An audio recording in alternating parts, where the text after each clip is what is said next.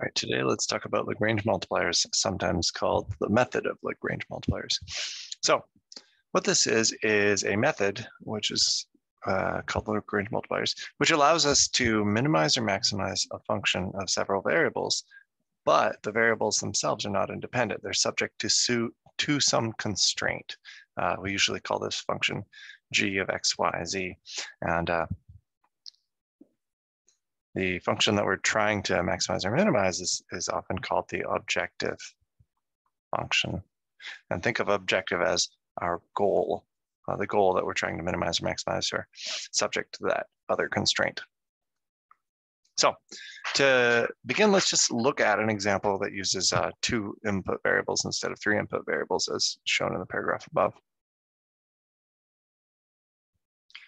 So here's our example. Our goal is to minimize the distance from the origin. Okay, so that's our goal. And underneath that, that brace there shows that, hey, um, well, we've got a, a function, the distance function for any point in the plane to the origin given right there, the square root of x squared plus y squared. So that's our goal. That's our objective function that we want to try and minimize. And our restriction is we're only interested in points that are in the hyperbola xy equals three. So that we're gonna think of as our constraint. Um, so we're gonna think of that as g of xy equals c. So kind of typing this up and, well, before I said that. Um, so it's not actually that bad, but uh, it's a little easier to minimize x squared plus y squared if we sort of ignore the square root. And we're not really ignoring it. We're just acknowledging the fact that square root of x squared plus y squared will have the same minimum output when x squared plus y squared is minimized. So we'll just worry about a slightly easier um, equation. And it will have our same answer. And so let's, let's before we, uh, before we go any further, let's kind of take a guess and see what we think might happen here. Sometimes our problem's intuition and then seeing that intuition work. So there you go. That's a, a relatively poor graph in the plane of the hyperbola at xy equals three. And so I think it's a reasonable kind of thing to think that, hey, if I were to guess, I would guess that the distance is going to be minimized for those two points. They're kind of directly on that y is equal to x diagonal line, um, kind of at the 45 degree angle from the origin, if you will.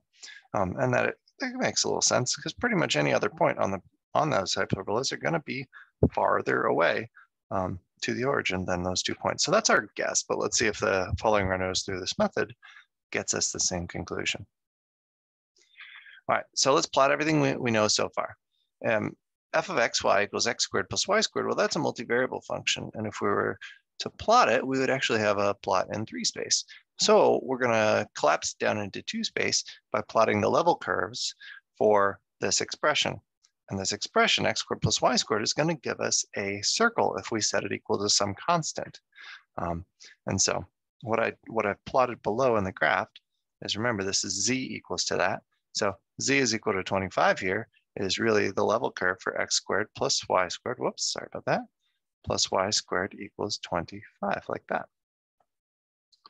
All right, so those are the level curves. We see a bunch of different circles of, of different radii. And then we've also plotted our constraint function of xy equals three on the graph. And so you can think of that as z is equal to three for a multivariable function, z is equal to gxy equals to xy. So on this, on this plot, we see that some uh, radius, some circle of different radii have points that intersect our hyperbola and some that do not. Okay, just kind of noting what we can observe. Um, there exists some minimum radius with points still on the hyperbola. And I plotted that in there as a dotted line in purple one. I put a little question mark there to say, hey, we don't know exactly what um, that radius is yet.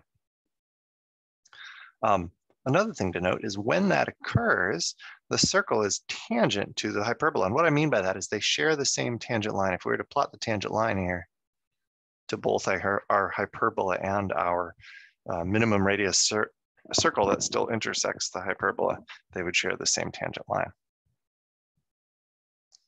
So we also notice that large values of f, in other words, our level curves, so like z is equal to 25, you can also think of that as f is equal to 25, uh, have solutions, whereas small values of f do not. Okay, just a bunch of observations from this plot. So since we're going to think of these plots as level curves and uh, g of xy equals xy, notice that the minimum distance to our origin, our goal, the level curve of f is going to be tangent to the level curve of g, of g is equal to 3 right there. So here's the game. What in particular do we know uh, about level curves where when they are tangent to each other? How do you solve the points x, y where our level curves f and g are tangent? Well, if you have tangent level curves, the normal vectors are going to be parallel. So let's go back to the plot and kind of draw that on there.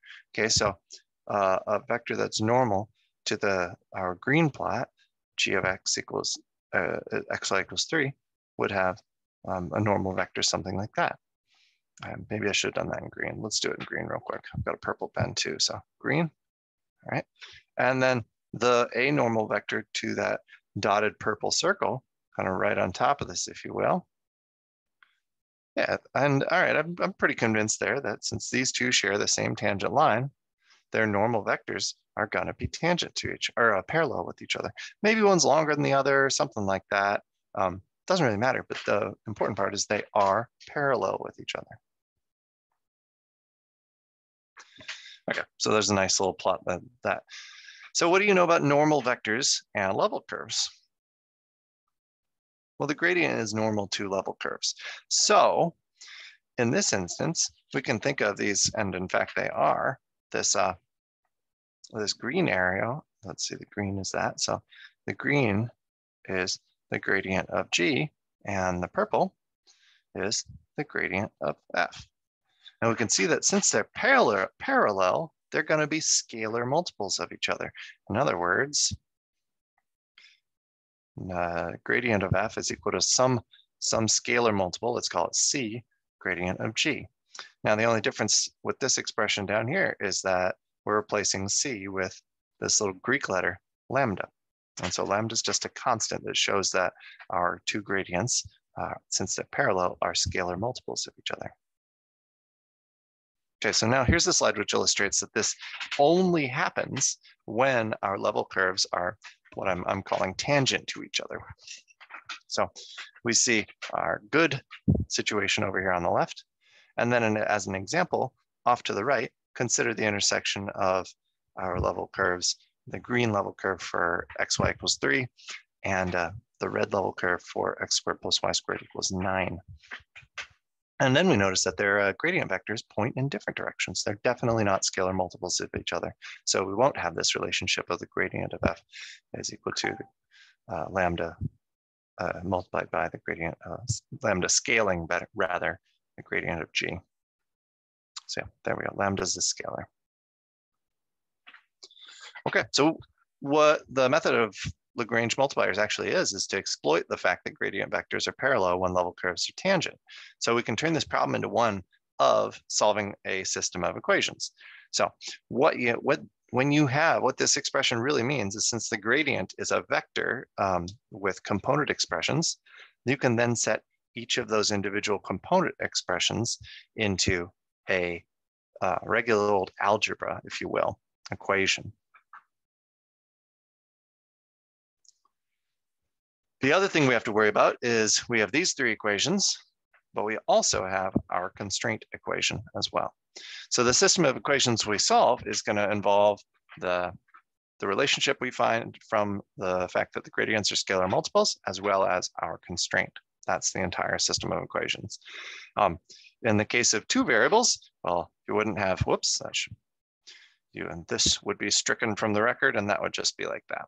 Same idea, just three instead of four equations to solve.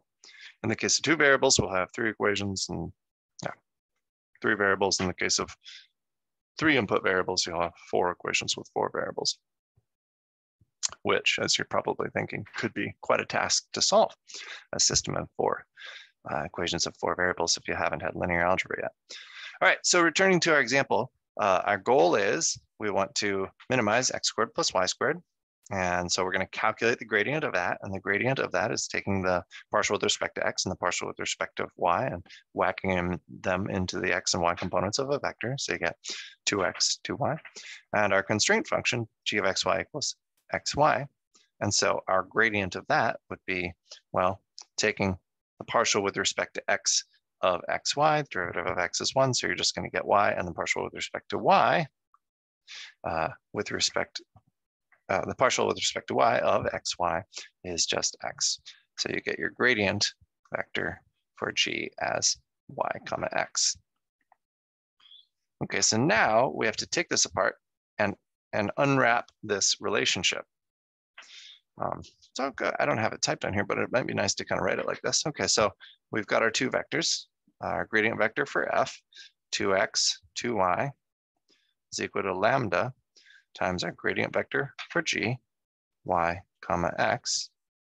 All right. So setting these component functions equal to each other, we get 2x has to be equal to lambda y. I guess before we do that, let's go ahead and scale this actual vector uh, g by multiplying the scalar lambda through. I'm going to fix that in a second. There we go. That needs to be a y. That's a little more clear. Methinks. Oops.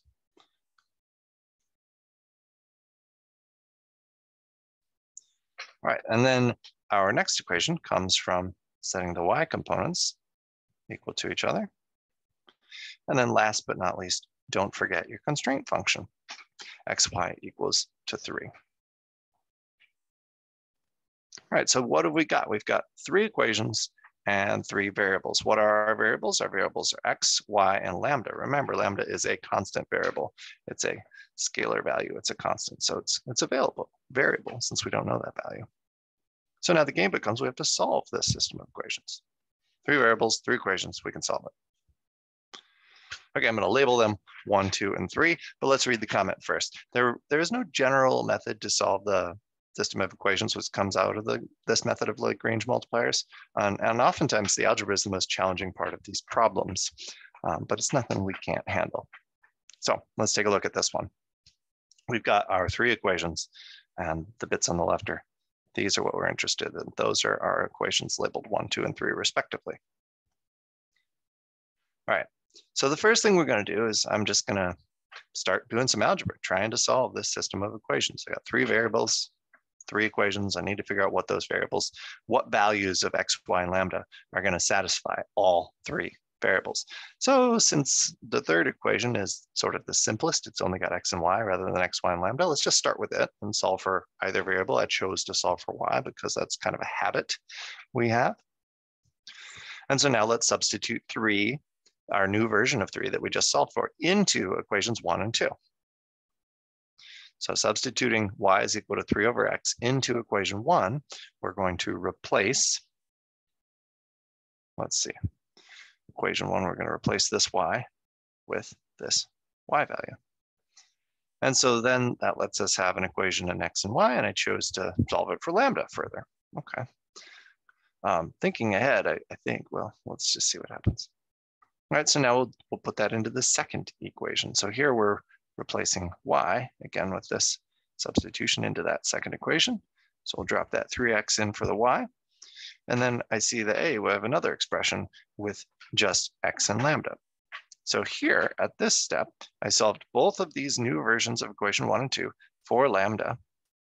And in our next step, we're gonna set these guys equal to each other because Lambda has to be the same as lambda, so I can set the left sides of the equations equal to each other. There we go, setting lambda equal to lambda from our prior equation gives us this is equal to this, and this is equal to that, which if a little bit of algebra there, you solve that uh, equation, since it's just an equation with one variable now, we can do that. A little bit of algebra skills. That gives us x is equal to plus or minus the square root of 3. Okay, what are we going to do with this? Well, what do we know so far? Our goal is to try and find x, y, and lambda values that satisfy all three equations. And truthfully, lambda is actually kind of just a temporary variable that we're using. We don't really care if we find the true value of lambda. Um, maybe it's interesting, maybe it's not, but we really only need to find x and y since that's what we're really interested in. Okay, so now notice in this process, we've used all three equations. So by back substituting, you've kind of think of this as we've used all of the information we have. We haven't just used two equations and thrown the third one out the window to get their conclusion. If we'd done that, we may not have, um, when and we back substitute to find the related y value, we'll only have a solution for two, two equations rather than all three. So you have to use all the information you have. So we've used all three equations and we can back substitute to find the related y value. So uh, to do that, instead of using those two equations, I chose to use this one, xy equals three. I have an x value, I'm after the related y value. So I'll just plug uh, positive and negative square root of three respectively into that and solve for the related y. And when you do that, you end up with negative root three, negative root three, and root three, root three as your two xy values that satisfy both of these equations, all three of these equations. Okay, so back to our goal. Our, our goal was to minimize the distance from the origin um, for points on the uh, hyperbola, the green hyperbola there. And notice that, sure enough, as we guessed initially, the distance to the origin was minimized right there on that 45 degree angle line, if you will, y is equal to x it was the points that we, we suspected and we found our result. So that's kind of an introduction to Lagrange multipliers without actually explaining the process before we did it, just kind of walking it through. Hopefully that was helpful. So here's kind of an approach to the general method for Lagrange multipliers. And as usual, I've written up a bunch of, a few more examples on the site and, and kind of typed up the process as well. So here we go. Again, I'm listing it for the case where you have three input variables. The process is exactly the same for if you only have two input variables. So we've got f of xyz and g of xyz. They're nice functions, they're differentiable. And note that the gradient of g is not equal to zero when we have g of xyz is equal to zero. Well, in our last example, what was g? g uh, was this. It was x, y equals to three. Well, that's not actually just uh, zero. So oftentimes when we do this process, since we're thinking of g as a function, what we do is we take this and we set it equal to zero. So x, y minus three equals to zero. And then we make g into this expression because we're then going to take the gradient of this version of our equation.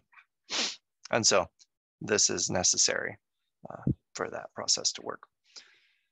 Then to find the minimum or maximum of our objective, our goal function f, subject to the constraint of g, if such a minimum or maximum exists, we have to solve the system of equations that comes from uh, setting the gradient vectors equal to scalar multiple of each other, lambda, so gradient of f is equal to lambda gradient of g, and our constraint function g of xyz is equal to zero.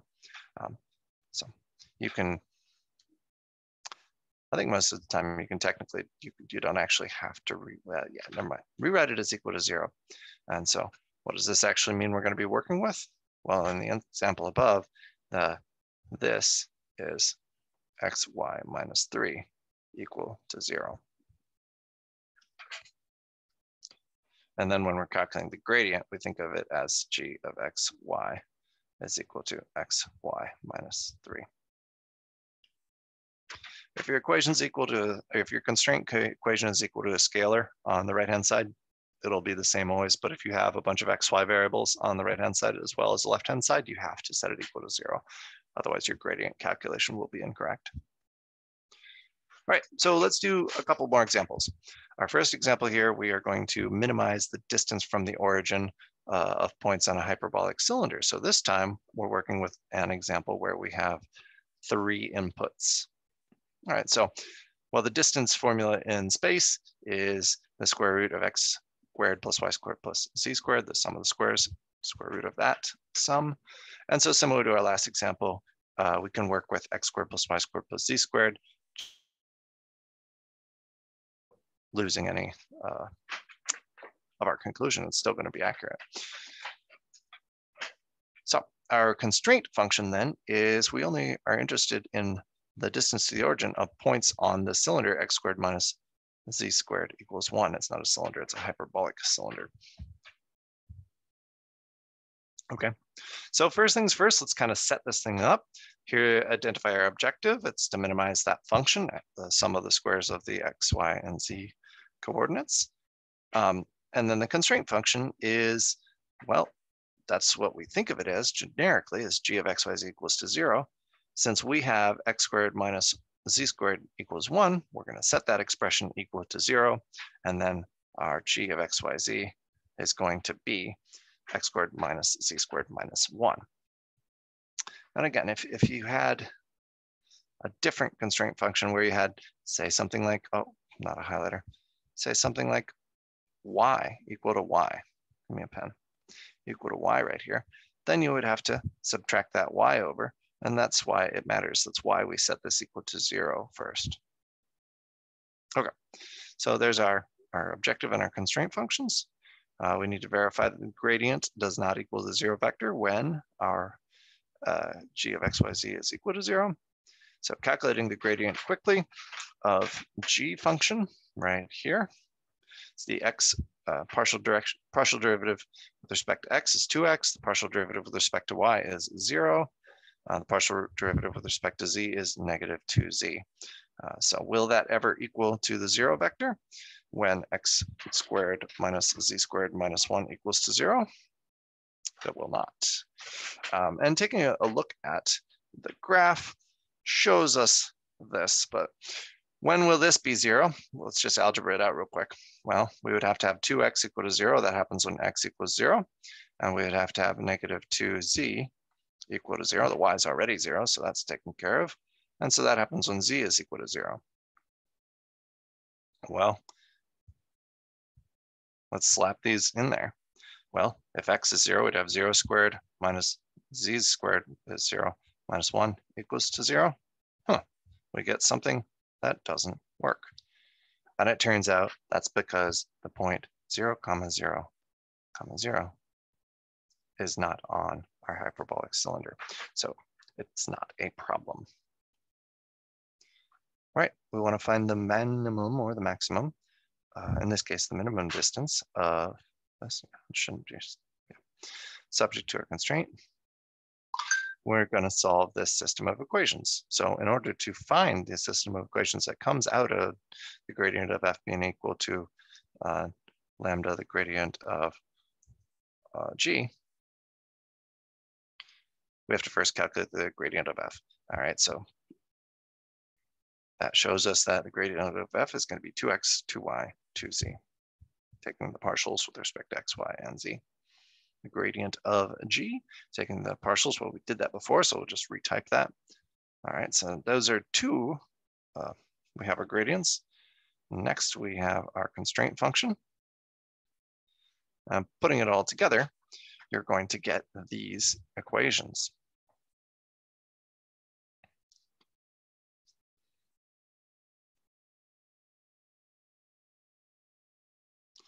I'm going to go ahead and write in the gradients here so that we can see where these equations come from.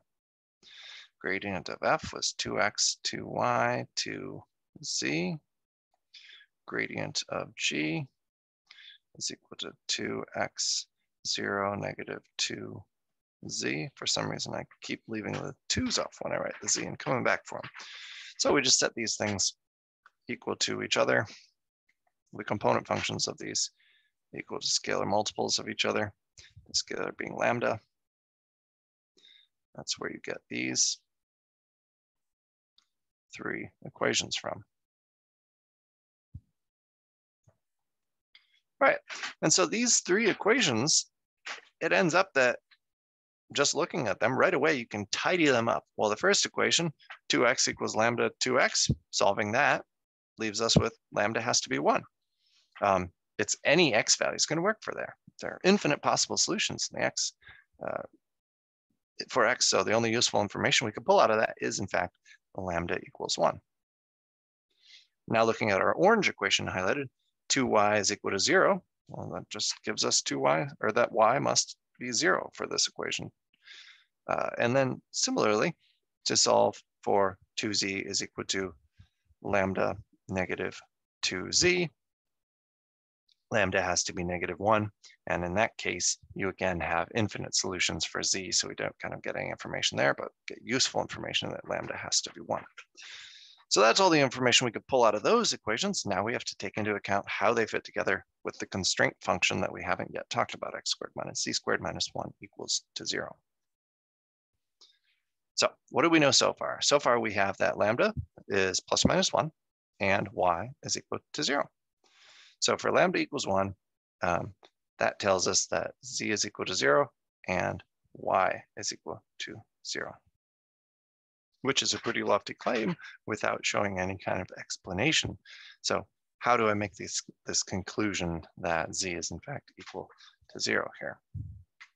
Well, for lambda equals one, let's, let's see what our three equations turn into.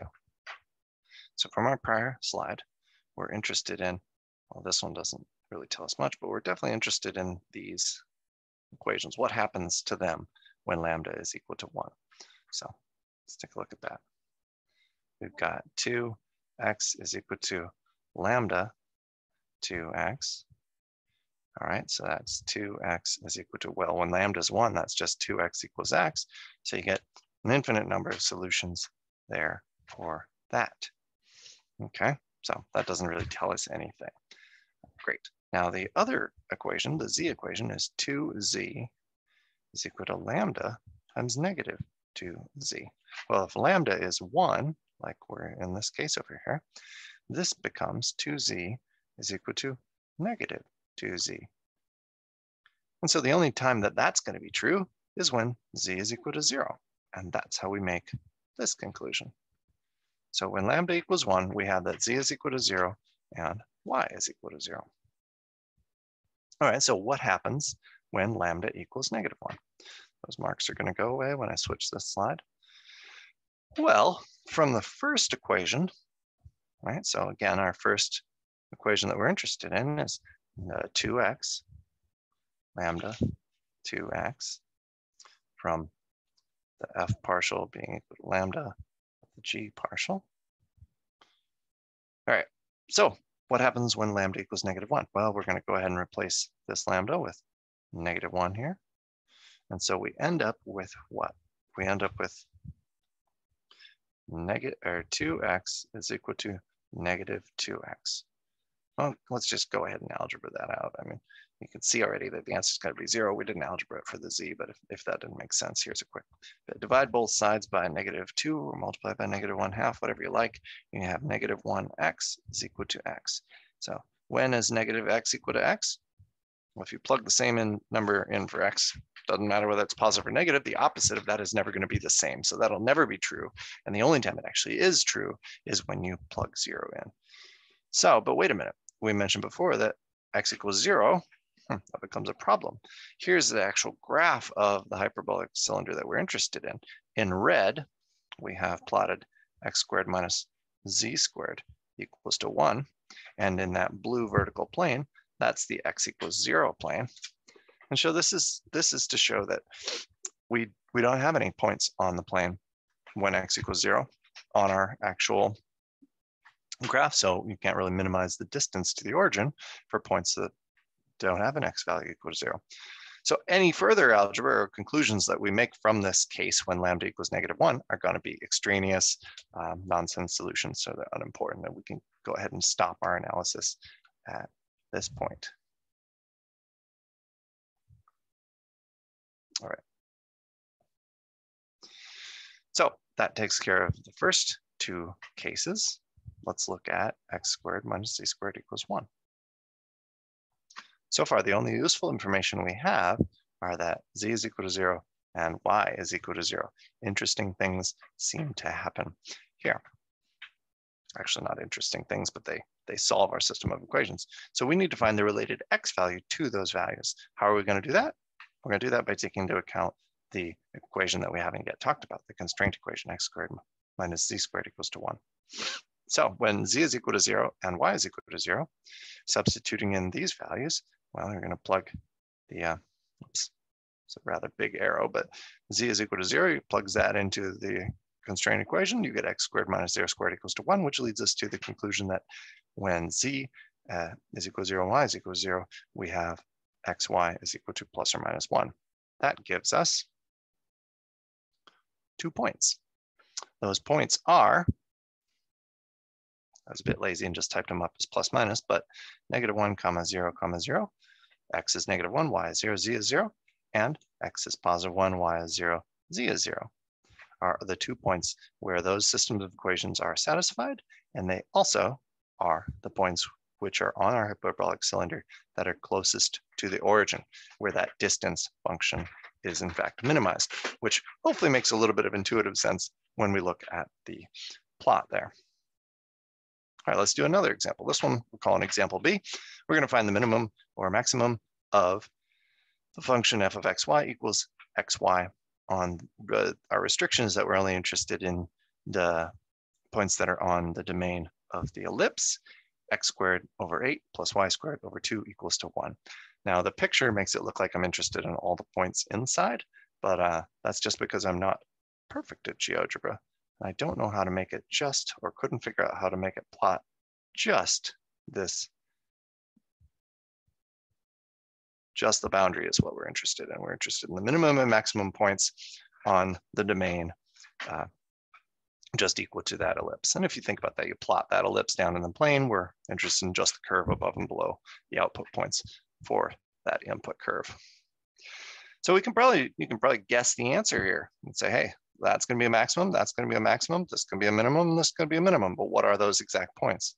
Well, we can follow the same process and we'll get there. All right, so uh, we want to find the extrema of xy on the domain that ellipse. So what are these functions? Our constraint function, well, that's our going to be we're restricting ourselves to the domain uh, of that ellipse. And so we're going to set that equal to zero and think of it as xyz is equal to uh, g of xyz is equal to x squared over 8 plus y squared over 2 minus 1. And uh, our f function we already have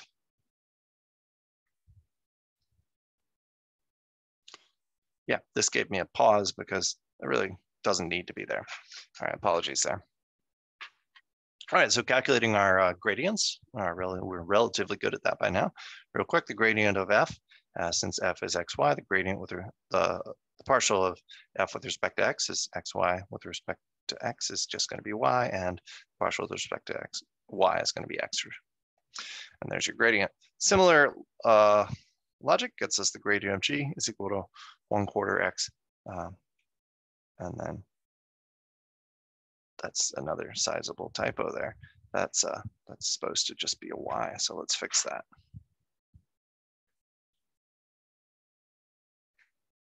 All right, so apologies again.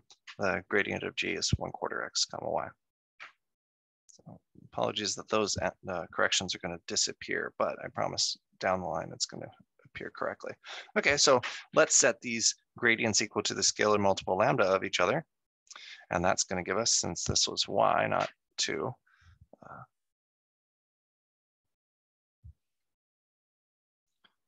setting the x components equal to each other, we get y from the gradient of x, or f is equal to lambda times 1 quarter x from the gradient of g. And similarly, setting the y components of our gradients equal to each other, we get x is equal to lambda y. And then last but not least, our constraint function, we've got x squared over 8 plus y squared over 2 minus 1 is equal to 0. So this right here, this is the system of equations that we're interested in. That's what we're going to try and solve. So tidying that up a little bit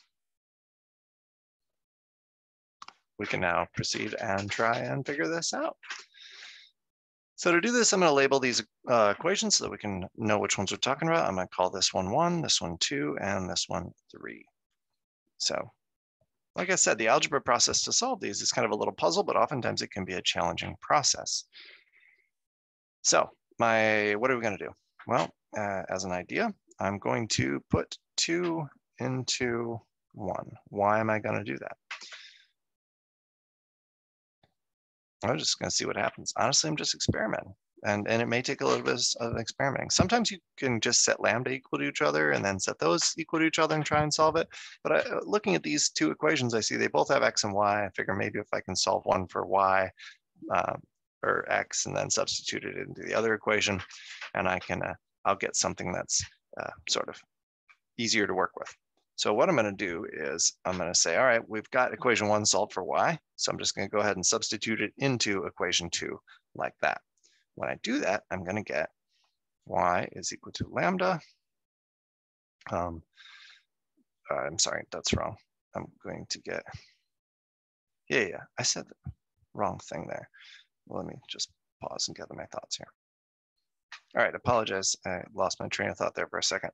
Uh, we're back on board here. Let me make this highlight a little bit more clear here. I'm going to put equation two into equation one. And what that means is since I've got equation two solved for x, I did actually say the wrong thing. I'm going to substitute it into the x for equation one. Uh, apologies there. I was looking at my notes and kind of got a little mixed up. All right, so now, now let's actually do that. y is equal to lambda times 1 quarter times the substitution we're going to make. We're going to replace that x in equation 1 with uh, lambda y from equation 2 since x is equal to uh, lambda y. Okay, and so now, now what am I going to do? Well, now I'm going to see what I what I can do from this expression. We're just going to start algebraing it and tidying it up. Okay, so I've got y is equal to lambda squared over 4 um, and then I'm going to have another y there. Okay, so the y, I could multiply both sides by 1, 1 over y, and that would reduce away those y's. And then multiplying both sides, that'll get rid of those little guys. So we'll just go ahead and reduce those away. Multiply 4 both sides. That'll give us that lambda squared is equal to 4. Okay. Well, that gives us lambda is equal to plus or minus 2, taking the square root of both sides. But caution, when I did something, I kind of threw away a little information. I just, I just recklessly divided both sides by y and, and got rid of a variable. But that variable is still in that equation and it still could be a value and there could be a value for that equation or that variable of y that might solve this equation and make it true.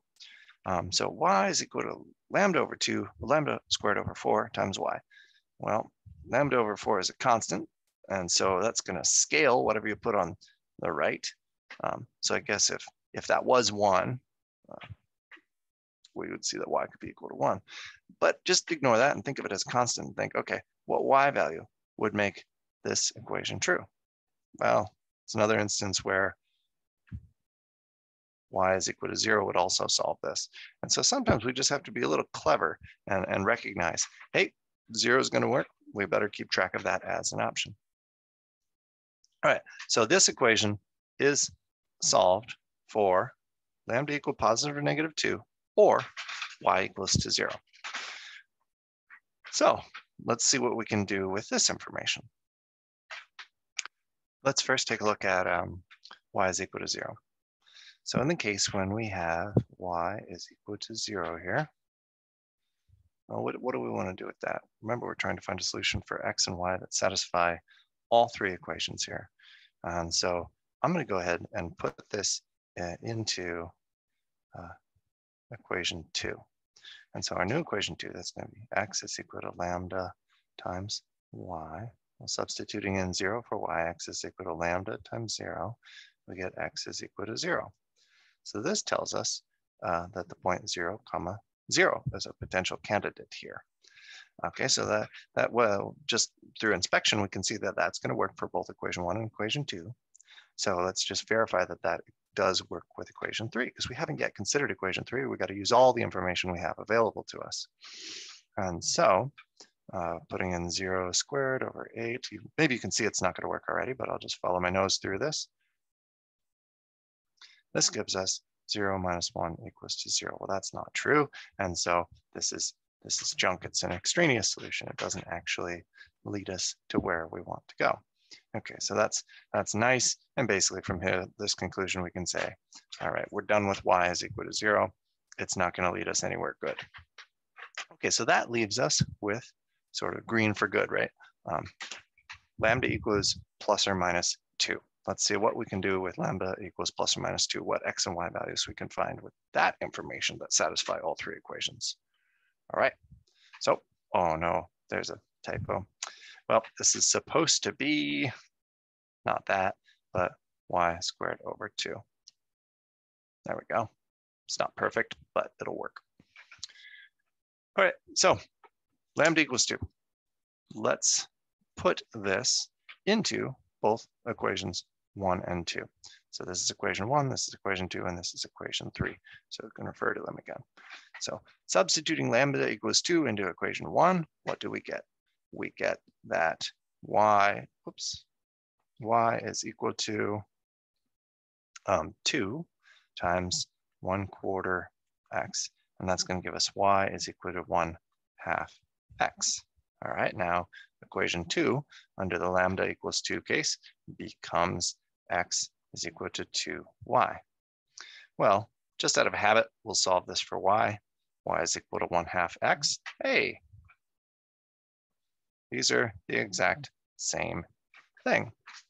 So what we're going to do is, since we really only have one equation, we're going to go ahead and take this and slap it into equation number three, because we've used equations one and two so far, ensuring we're using all of the available information, we have to still use equation three.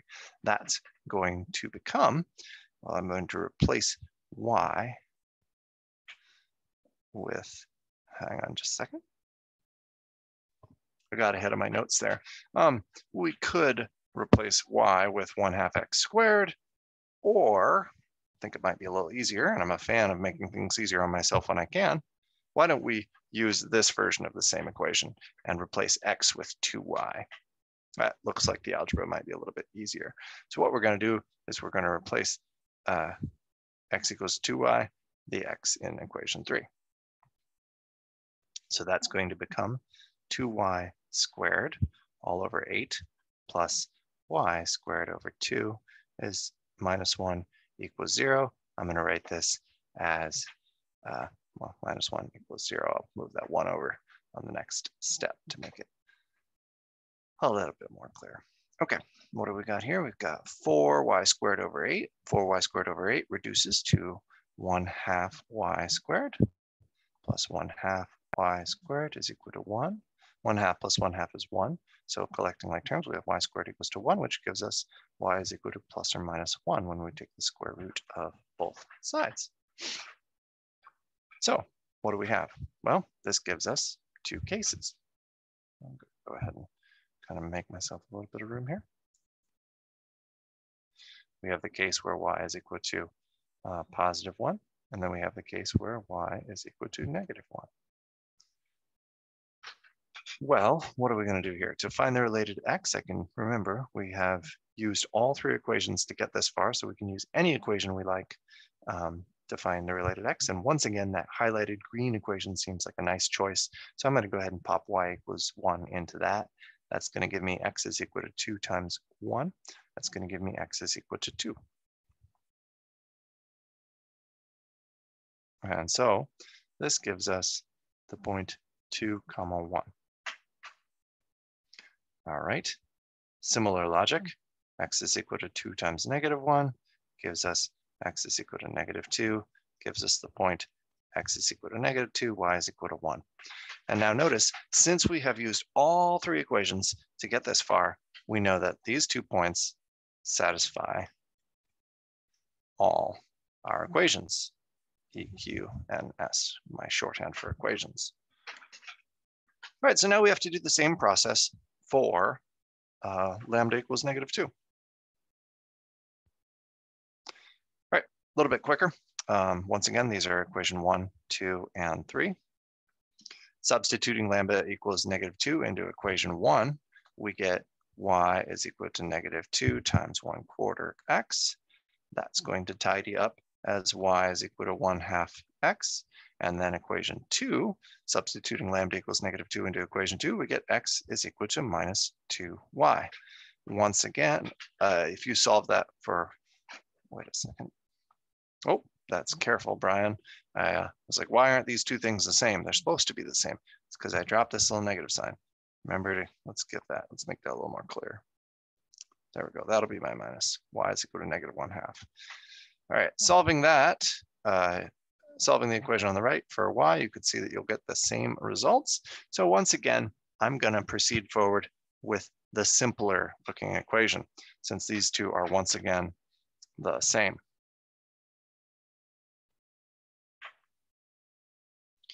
All right, so we're gonna substitute uh, our new, quote, new version of equation two into the third equation, which we haven't used, just like we did last time.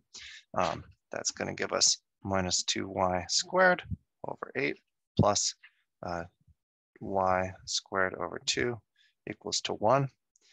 But that's actually going to be um, the same math as the last one because we're going to square that negative 2 and get 4ace, which is exactly what we had on this other one. So this is going to lead us to y is equal to plus or minus 1 once again.